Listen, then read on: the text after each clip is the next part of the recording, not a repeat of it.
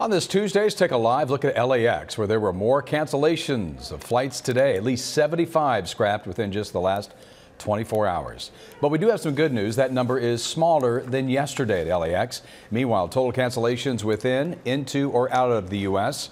Well, they are close to 1,200 today, and there are nearly 6,000 delays as well. That according to FlightAware.com.